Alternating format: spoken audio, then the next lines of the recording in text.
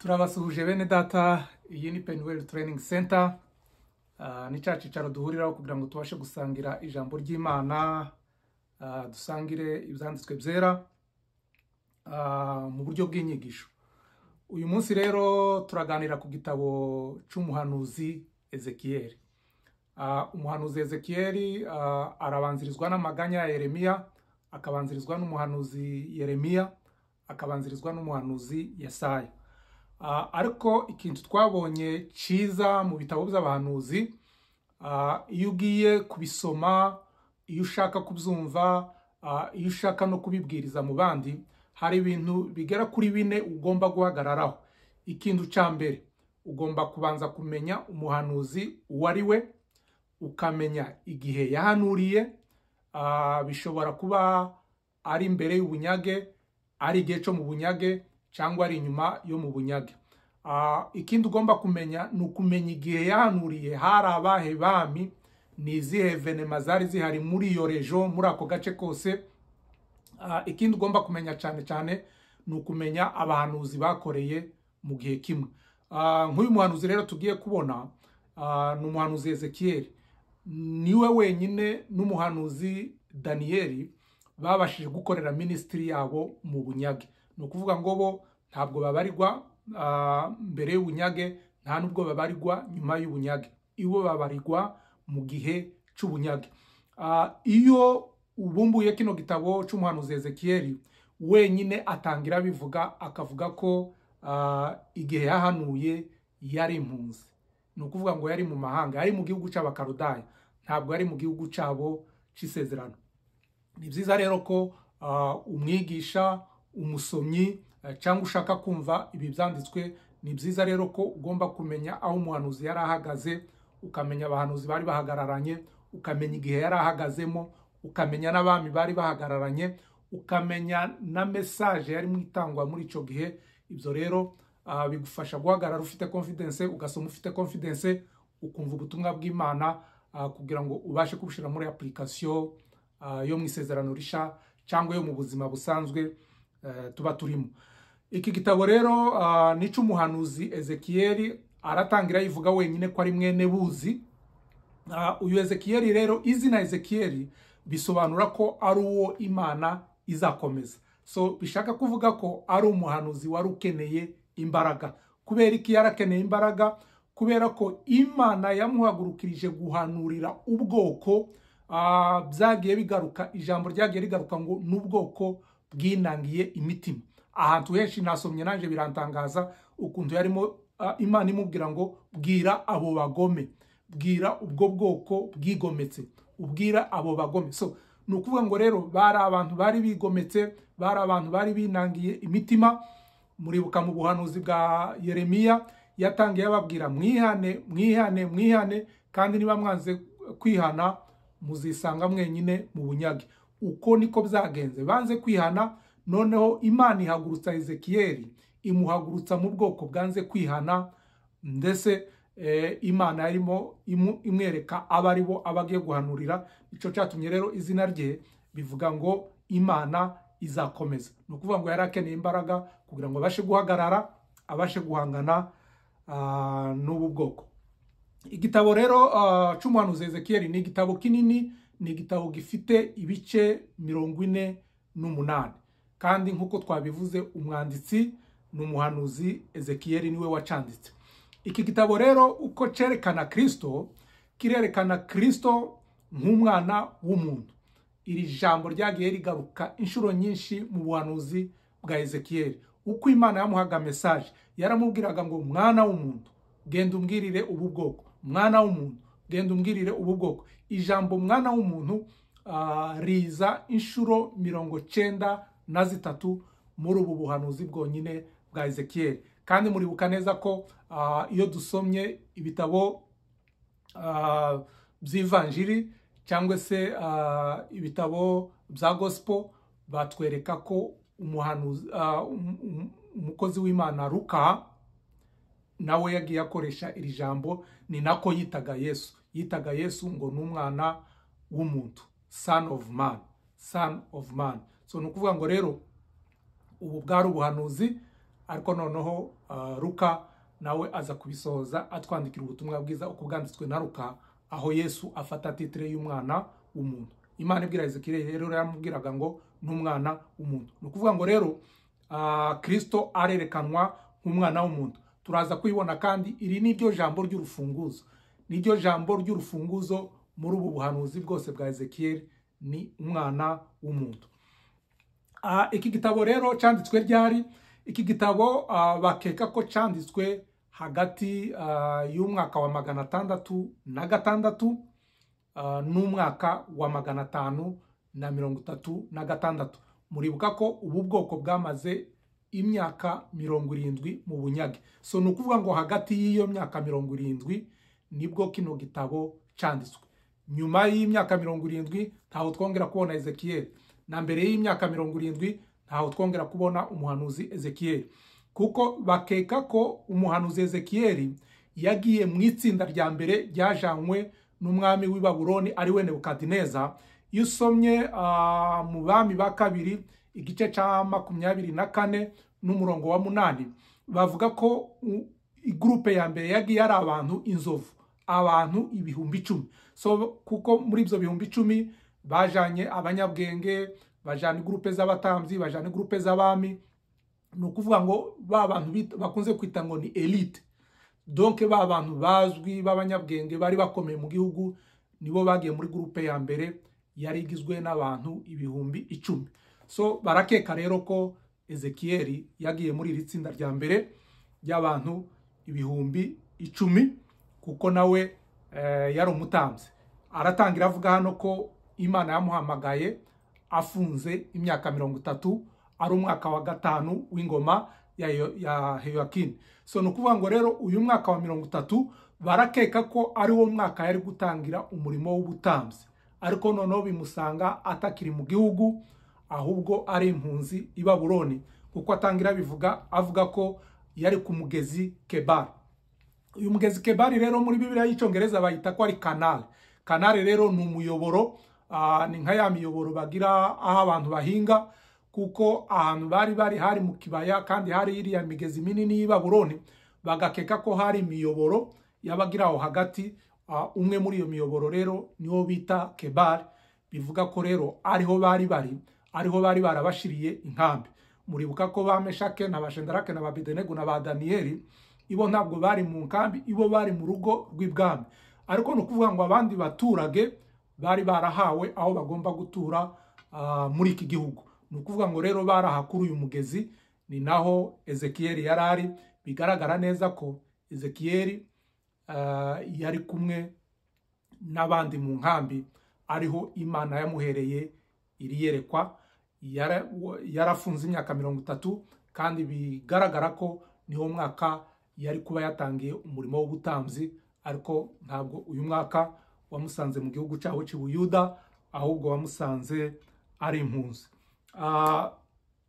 Uwo rero ni we ezekiyeli uwo rero ni cyo gihe yandikiye kino gitabo kandi ni cyo gihe yahawe ino mesaje intego rero yo kugira ngo ezekiyeli abashe kutwandikira buno buhanuzi yari afite intego zigera kuri zirindwi.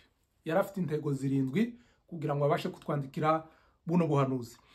Intego ya mbere kwari ukwibutsa ubu bwoko ko imana izongera kubagirira neza. Nubwo yabitaga abagome nubwo yavugaga ko bishe isezerano ry'imana nubwo yavugaga ko basenze ibigirwamana ibyo yabashinjaga ibyo ari byo byose. Ariko intego yo kugira ngo ubu buhanuzi bwandikwe kwari ukugira ngo abibutse ko imana izongera kubagirira neza ariyo dukunze kwita mu rurimi rw'amahanga restoration. Ni ukuvuga ngo imana izongera ibacure bongere baje mu gihugu cyabo. Intego ya kabiri kwari ukubabwira ko imana itabataye. Ahubwo aba abihanangiriza kugira ngo bazihane bazace bugufi imana izongera ibatarure ibageze mu gihugu cyabo. Intego ya gatatu kwari ukubibutsa ko nubwo bari mu bunyage ariko iherezo imana izongera ikabasubiza mu gihugu cyabo. Intego ya kane kwari ukubacaha kwari ukubasaba kwihana ah, kugira ngo ah, babashe kwihana. Hari aho yabivuze mu gice cya cumi n'umunani n'umurongo wa kane aravuga ngo ubugingo bukora ibyaha ni bwo buzapfa. So icyo yashaka kubabwira kwari ukubabwira ngo bihane bave mu byo barimo kugira ngo babashe gutunganya ubugingo bwabo imana izongere ibagirire neza ibasubize mu gihugu cyabo. Intego ya gatanu kwari kwari ukubibutsa impamvu imana yabahanye. Twabonye ko umuhanuzi Yeremiya yabahanuriye inshuro nyinshi agenda abisubiramo abwira abami abwira abayoborwa ababwira ngo mwihane mwitunganye noneho ntiba- ntiba- ntibabyemera. Batabyemeye rero bisanga mu gihugu cy'ubunyage. Iyi ntego rero ya gatanu kwari ukubabwira ko impamvu imana yabahanye ari uko banze kwihana ari uko banze guhindukirira imana ari uko bakomeje kuba mu bigirwamana no gukomeza kwica isezerano ry'imana. So intego ya gatandatu rero kwari ukubabwira ngo uko bimeze kose nibihana imana izakomeza kubagira igikoresho cyo guhindura amahanga yose. Ni ukuvuga ngo ubwoko bwa isirayeli imana yari yarabutoranije ibugira ubwoko bwayo iburutisha andi moko yose yari atuye muri kiriya gihugu. Muribuka dusoma igitabo cya joshua. Ni ukuvuga ngo yakuye andi moko yari muri biriya bihugu yasengaga ibigirwamana abahereza kiriya gihugu kugira ngo basenge imana nyamana. Ariko baribagirwa. Ariko nanone umuhanuzi ezekiyeli arabibutsa ngo nibongera gutunganira imana. Imana izongera kubagira igikoresho izakoresha ah, mu guhindura amahanga yose. Muribuka ko imana ihamagara aburahamu kwari ukuvuga ngo azabera abandi bose umugisha. Aba rero nibo bari bahetse isezerano ryose ry'imana. Ariko bisanga hehe bisanga bari mu nkambi bisanga bari mu gihugu cy'amahanga bacika intege bumva ibintu byarakomeye ariko umuhanuzi arabasubiza mu intege akabibutsa nimuhindukirira imana imana izongera ibagire igikoresho kandi cyo guhindura amahanga yose kugira ngo na- n'abataramenya imana ya isiraheli nabo bazaze kuyimenya mu gihe gikwiriye cy'imana intego rero ya nyuma ah, y'uyu mwanditsi eh, kwari ukugira ngo ah, akomeze kubihanangiriza yihanangiriza abungeri yihanangiriza abahanuzi ku myitwarire yabo mibi bagaragazaga. Ni ukuvuga ngo abungeri bari barataye inshingano abahanuzi ah, bahanuraga ibinyoma. Ibyo ngibyo usho- usho- ushobora kubisanga mu gice cya makumyabiri na kabiri ah, umurongo wa makumyabiri na gatatu kugeza no ku murongo ah, wa mirongo itatu. Izo rero nizo ntego zirindwi uyu mwanditsi yari afite. Ibice rero bigize kino gitabo Ah, ibice nagerageje kukigabanya mu bice bine kubera ko iki gitabo kirabanziriza ubuhanuzi bwa daniyeli kandi ubuhanuzi bwa daniyeli ni ubuhanuzi busa ah, nkaho buri komplike eh, buke kubwumva. Ariko kubera ko kino gitabo kibubanziriza niyo mpamvu nashatse ah, kugabanya bino bice mu bice bigera kuri ah, kuri bine. So igice cya mbere rero kirahera mu gice section ya mbere. Irahera mu gice cya mbere ukageza mu gice cya mirongo ibiri na kane cyangwa kuri makumyabiri na kane. Igice cya mbere kugeza kuri makumyabiri na kane. Iyo niyo section ya mbere. Ah, muri icyo gice rero tubonamo guhamagarwa kwa ezekiyeli guhamagarwa kwa ezekiyeli ubisomye mu gice cya mbere imana yaramuhamagaye ariko agiye kubona abona ibizima. Donc ah, mu rurimi rw'icyongereza bavuga ko ari aba aba bakerubimu rero ni abakerubi aba bakerubi rero yagiye abona ibi bizima cyari gifite ishusho zine ngo ishusho imwe yasaga n'intare indi yasaga n'ikimasa indi yasaga n'igisiga ngo indi igasa n'umuntu muri ibi rero ni ukuvuga ko ibintu by'ibizima bigenda bigaruka muri bibiliya turibuka ko igihe adamu na eva bari bamaze gucumura mu ngobyi ya edeni. Imana yabakuye aho bari bari noneho ngo harya imaze kubavana ngo yaharindishije abakerubi. Ah, turibuka mm, mu gitabo cyo kuva igihe imana yabwiraga mose uko agomba kubaka ihema mu gice cya makumyabiri na gatanu ah, n'umurongo wa cumi. Uzasanga naho nanone bavuga ngo aho ngaho ku isanduku hazabe hari ibishushanyo by'abakerubi babiri. Iyo usomye nanone igihe bari bamaze kubaka urusengero rwa salomo mu bami ba mbere igice cya munani n'umurongo wa gatandatu naho nanone uzasanga ibishushanyo by'abakerubi. Ni ukuvuga ngo n'igihe saya yabonye imana nawe yagiye gute abona ibizima. Ni ukuvuga ngo ibi ni ibintu bigenda bigaruka cyane mu isezerano rya kera no mu mico y'abaheburayo no mu mico y'abayahudi. Hari ijambo nagiye numva batwigisha kenshi bakatubwira ngo izi shusho ko ari enye z'aba bakerubi cyangwa z'uyu mukerubi cyangwa z'iki kizima ngo zasuraga ibitabo by'ivugabutumwa ko ari bine ubutumwa bwiza bwa matayo kuko yavuze ngo yesu nk'umwami ubutumwa bwiza bwa mariko kuko yesu yavuze yesu nk'umukozi ubutumwa bwiza bwa ruka kuko yavuze yesu nk'umwana w'umuntu ubutumwa bwiza bwa yohana kuko yavuze yesu nk'imana. Bakavuga ko rero ibi ngibi ari byo bisobanura.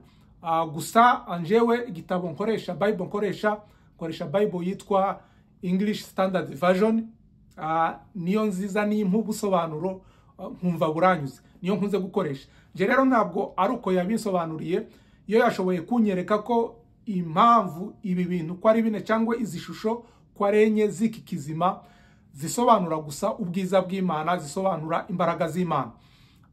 Kuko iyo uvuze intare uba uvuze umwami w'ishyamba. Iyo uvuze ikimasa uba uvuze umwami w'amatungo yo mu rugo. Iyo uvuze igisiga uba uvuze umwami w'ikirere. Iyo uvuze umuntu uba uvuze umutware utwara ibintu byose. Muribuka ko mu gice cya mbere cy'igitabo cy'itangiriro n'umurongo wa makumyabiri na gatandatu aho imana ibwira umuntu ngo nagenda atware iyo uvuze intare usomye mu gitabo cy'imigani igice cya mirongo itatu n'umurongo wa mirongo itatu iyo uvuze ikimasa iyo usomye nk'igice cya cumi na kane nanone cy'igitabo cy'imigani n'umurongo wa kane so ni ukuvuga ngo rero baravuga ko ibi byose bivuga icyubahiro cy'imana bivuga gukomera kw'imana. Kandi nanone iyo bavuze ikizima ni ukuvuga ngo byabaga mu rusengero. Ezekiyeli yaravuye hehe yaravuye mu gihugu cy'ubuyuda yaravuye yerusalemu ahabaga urusengero ahabaga ubwiza bw'imana ahabaga imbaraga z'imana. Ni ukuvuga ngo rero imana yamweretse buno buhanuzi imwereka kino kizima imwereka zino shusho zose imwereka ukuntu zagenderaga ku nziga imwereka ukuntu zajemo imirabyo inkuba umuriro ibyo na byo turabyibuka igihe Mose yari ku musozi wa sinayi igihe yahuye n'ubwiza bw'imana ubwo iteraniro ryose ryasabaga ngo ribonane n'imana kuko Mose abonana n'imana urumva ko habaye guhinda kw'inkuba haba imirabyo ari ibintu bikangitse bitinyitse. Ariko ibi byose nta kindi byavugaga byavugaga ubwiza bw'imana bikavuga gukomera kw'imana bikavuga n'icyubahiro cy'imana. Ubwo rero ni ukuvuga ngo izi shusho ko ari enye intare ikimasa igisiga n'umuntu byose biravuga gukomera kw'imana bikavuga ubutware bw'imana bikavuga n'icyubahiro cy'imana kiba mu nzu yayo. So ni ukuvuga ngo rero muri iki gice cya mbere kugeza ku gice cya makumyabiri na kane tubonamo urubanza rw'abanyesiraheli. Ni ukuvuga ngo imana irabwira abanyesiraheli ibicumuro bacumuye. Aha rero ni ho dusanga guhamagarwa kwa ezekiyeli tukabona rero yinjira no mu iyerekwa ari ryo twarimo tuvuga bivuga bino bizima yabonye. Nanone muri muri sekishoni yo mu gice cya mbere kugeza kuri makumyabiri na kane ni ho dusanga umuhanuzi ezekiyeli ahanurira ubu bwoko ariko akoresheje imigani. Ngira ngo turabibona mu butumwa bwiza yesu yigishije abantu mu migani. Ni ukuvuga ngo rero no mu isezerano rya kera umuhanuzi ezekiyeli yabwiraga ubu bwoko abubwiye mu migani. Hari aho yababwiye imana iramubwira ngo nagende aryamire urubavu rumwe mu gihe kingana gutya cy'umwaka so ni ukuvuga ngo ibi yabikoraga mu migani. Hari ahandi uzasanga yamubwiye ngo yiyogoshesheje umusatsi uve aha ugere muri uru rugero. Ibyo byose yabigereranyaga n'inzu ya isiraheli hari ahandi usanga yaramaze igihe ibiryo yaryaga abitekesha umwanda. Pupusi ni ukuvuga ngo muri uyu mwanda rero kwari ukwerekana ibicumuro by'abanyasiraheli ukuntu byabaye nk'umwanda mubi imbere y'imana. So nanone muri iyi migani hari aho usanga yarabagereranyije nk'igiti cy'umuzabibu ngo cyahiye hepfo gisha no haruguru gisha no hagati kidafite icyo kikimaze. Hari aho nanone yabagereranyije mu migani abagereranya nk'umugore wabaye maraya mu gice cya cumi na gatandatu. Hari aho yabagereranyije nk'ibisiga bibiri mu gice cya cumi na karindwi.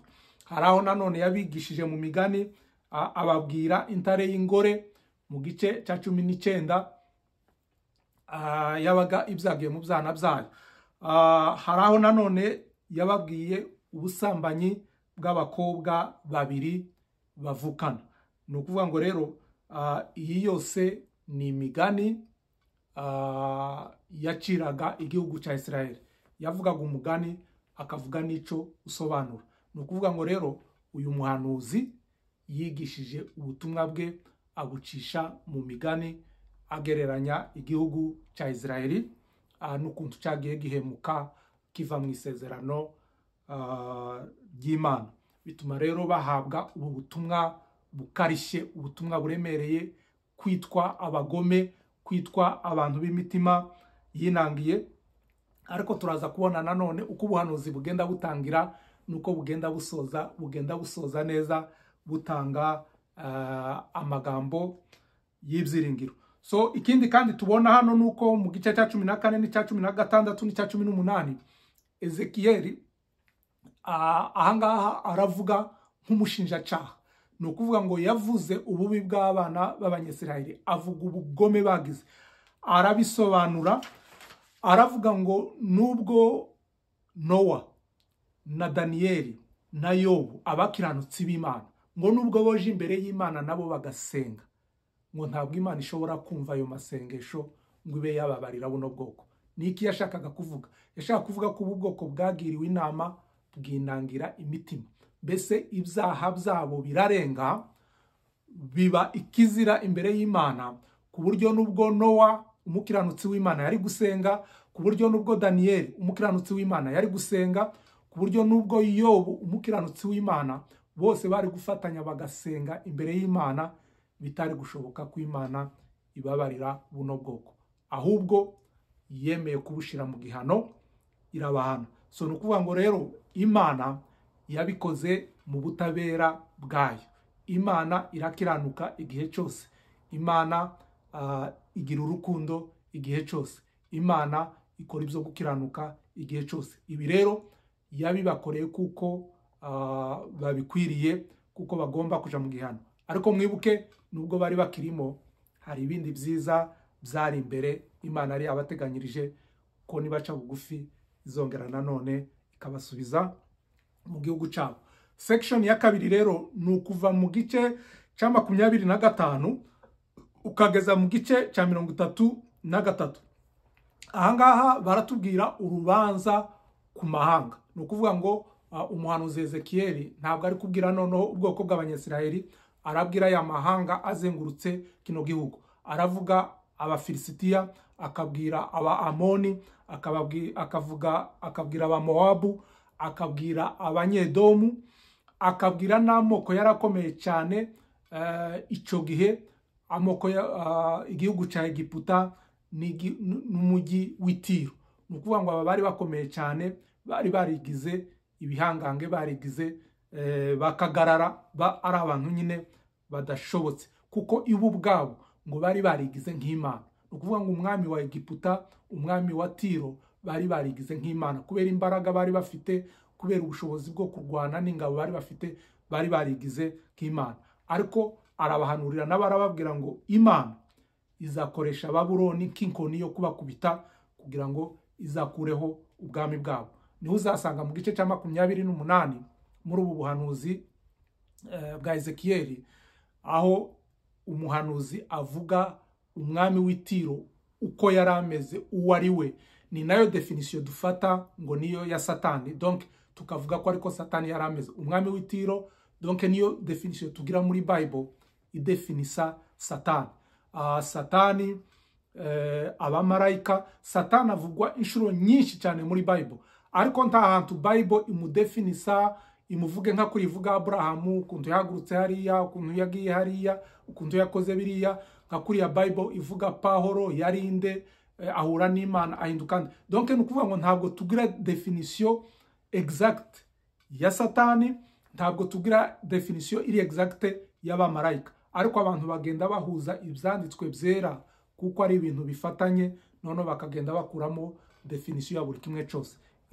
Iki gice rero cya makumyabiri n'umunani kiri mu gice kidefinisa satani uwo ari we icyo yakoraga ukuntu yari umunyacubahiro ukuntu yari umukerubi ukomeye arirata yishyira hejuru imana rero iza kumusubiza hasi. So ni ukuvuga ngo rero aha muri iki gice baraburira aya moko azengurutse abanyesirayeli ikindi muri iki gice nanone muri iki gice cya mirongo itatu na gatatu ni ho umuhanuzi ezekiyeli yahawe amakuru y'uko umurwa wasenyutse burundu umurwa w'i Yerusalemu wari umaze gusenyuka completely. Ni ukuvuga ngo iyi sekisheni ya makumyabiri na gatanu kugeza kuri mirongo itatu na gatatu uravuga urubanza ruri kuri ibi bihugu bihanye imbibi na israeli donc ni cyo bibandaho noneho bakavuga no gusenyuka kwa Yerusalemu.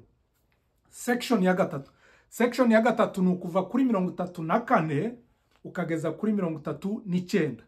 Ibi ni ibyiringiro by'abanyesirayeli muribuka ko section ya mbere rwari urubanza rwa isirayeli. Section ya kabiri rwari urubanza ku mahanga akikije isirayeli. Iyi section ya gatatu rero ubuhanuzi butangiye guhinduka. Bwatangiye ari bubi bwatangiye bukaze bwatangiye ari ugucyaha bwatangiye ari ukuvuga kwinangira kw'imitima buvuga abagome. Ariko ahangaha rero butangiye gutangira gutanga icyizere. Aha rero baravuga ibyiringiro bya isirayeli. Ni ukuvuga ngo muri ibi byiringiro rero bya isirayeli umuhanuzi arabona ko imana igiye kubaha undi mwami mushya uri mu cyimbo cya dawidi. Uwo nta wundi ni mesaya bwana asifiwe. So ni ukuvuga ngo rero icyizere gitangiye kuboneka hano. Muribuka ko mu gice cya mirongo itatu na karindwi aho imana yamweretse mu kibaya imwereka amagufwa yumye imubaza ko aya magufwa yakongera kubaho. Ni ukuvuga ngo ubwoko bw'abanyesirayeli ntacyo bwari bukiri cyo imbere y'imana. Gusa nyine kuko bwari bufite isezerano ariko ngo bwari bumeze nk'amagufwa yumye. Ya magufwa yumye rero ayo ngayo niyo yari akeneye umwuka niyo yari akeneye imbaraga kugira ngo yongere abeho.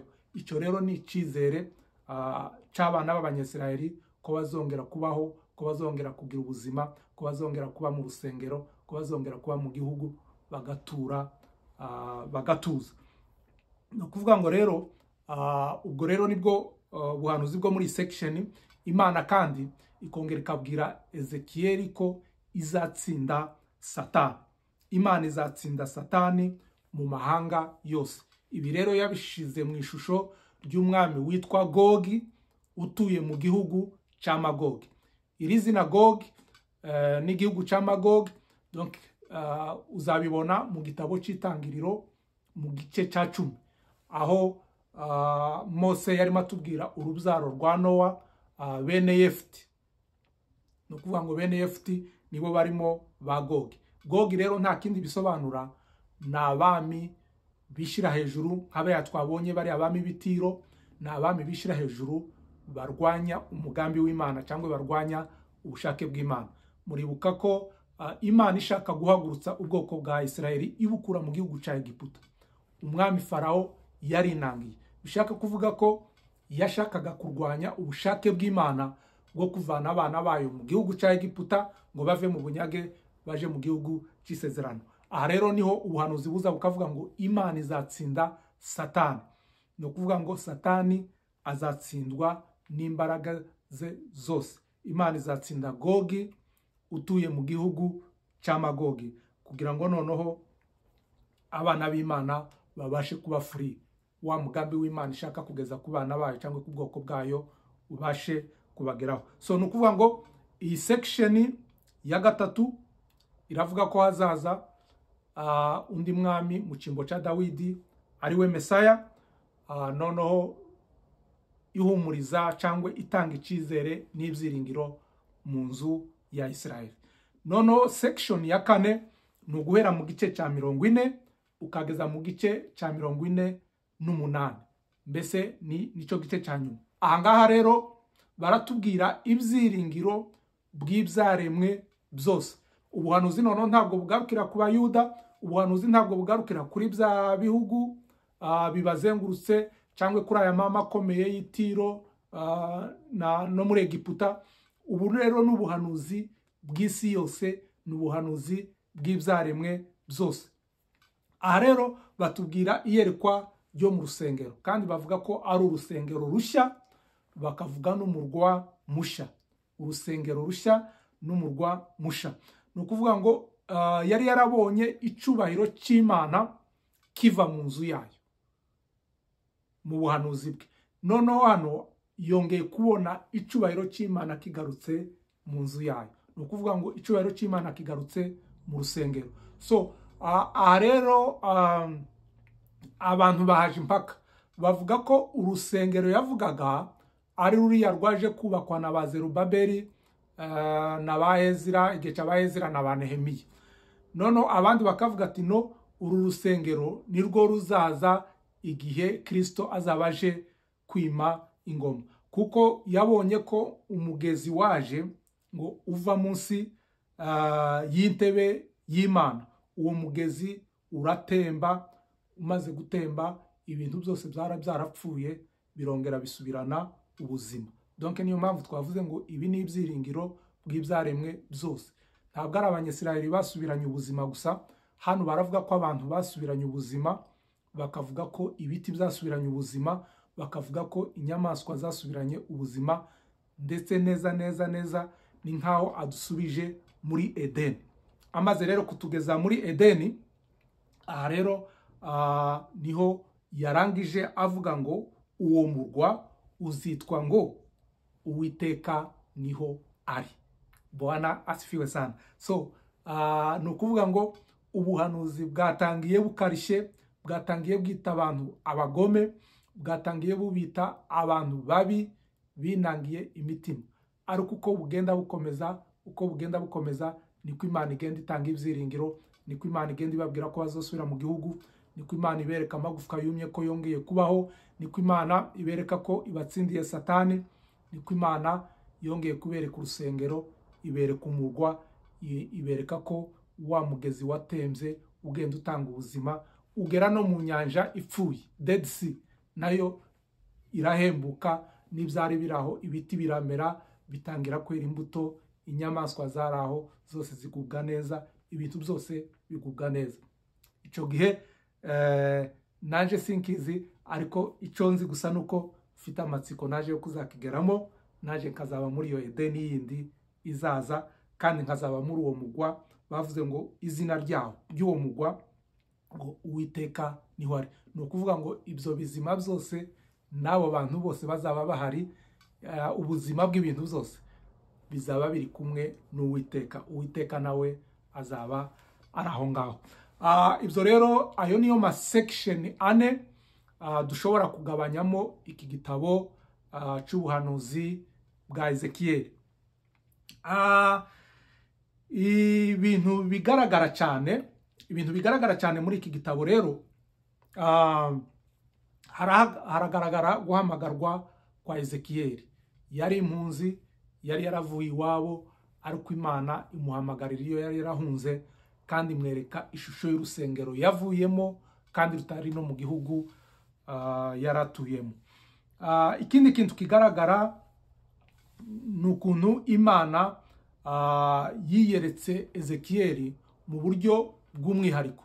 Ni ukuvuga ngo uko imana yiyeretse yesaya ntabwo ariko yiyeretse yeremiya. Uko imana yiyeretse yeremiya ntabwo ariko imana yiyeretse ezekiyeri uko yiyeretse ezekiyeri ntabwo ariko tuzabona iziyereka daniyeli so ikindi kintu kigaragara ni ukubwiriza mu migani gutanga ubuhanuzi mu migani. Ah, abantu bakurikirana inyigisho za yesu. Yesu yigishije mu migani. Ah, bigira ibisobanuro byinshi icyatumye yigisha mu migani. Ah, hari impamvu imwe kwari ukugira ngo ibyo yavugaga abashaka kumugirira nabi ntibabyumve dire- directement. So donc niyo bajaga kubinterpreta. Hari igihe batabyemezanyagaho bakavuga ati none nuko yashaka kuvuga cyangwa se uku. So ikindi kandi bwari uburyo bwiza bwo gutanga message. Yesu yaravuye mu ijuru. Iyo yavugaga ibyo mu ijuru ntabwo bari kumva. Ariko iyo bahaga imigani y'ubuzima babamo buri munsi. Abahinzi abarobyi abatware abagaragu ubwo bwari ubuzima bwabo bwa buri munsi. Noneho bigatuma bumva ah, message.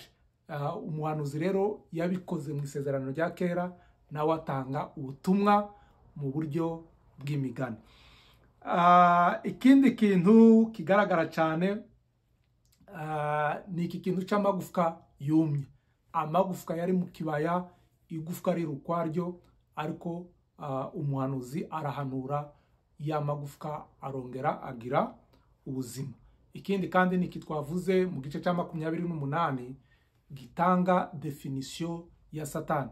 So uh, satani aravugwa inshuro nyinshi ariko ndatekereza ko muri bible definisiyo nziza ya satani ni ahangaha wayishakira ni kuri makumyabiri n'umunani mu buhanuzi bwa ezekiyeli amasomo. Amasomo dukura rero muri ubu buhanuzi eh, turakuramo amasomo agera kuri ane.